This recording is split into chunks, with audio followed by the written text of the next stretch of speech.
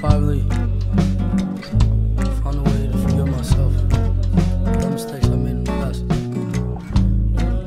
think that's the first step, right?